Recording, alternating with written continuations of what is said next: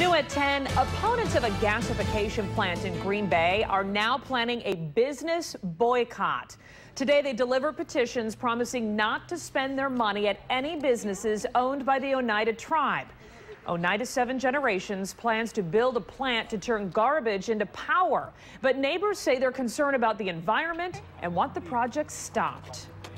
These people are upset. They're upset about what they were told and what the actual truth is and now they are, um, you know, wanting to do something about it. Last week, the group rallied outside City Hall, but Mayor Schmitt says he backs the project, which has received approval from the DNR and the EPA. Construction is set to start this spring.